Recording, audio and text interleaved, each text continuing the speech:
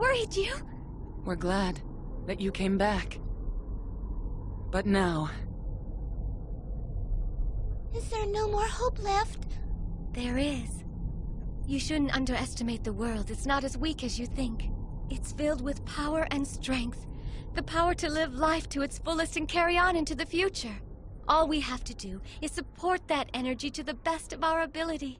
Because it's the emotion and passion which emanates from loving someone that imbues us goddesses with the power we have.